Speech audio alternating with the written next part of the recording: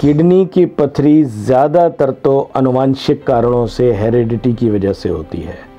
हमारे शरीर में कुछ ऐसी चीज़ें हैं जो कि वेस्ट प्रोडक्ट को हमेशा घोल के और यूरिन में निकाल देती हैं।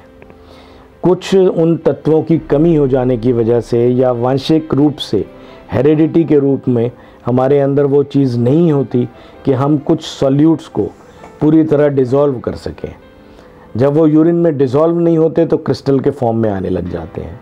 और अगर हम पानी नहीं पीते तो वो क्रिस्टल एग्रीगेट हो जाते हैं, इकट्ठे हो जाते हैं और पथरी बन जाती है। एक बार पथरी बन गई तो ये जनरली सिर्फ़ किडनी के अंदर जब तक होती है तो कभी कभार हल्की फुल्की दर्द कर सकती है या पेशाब में खून आ सकता है।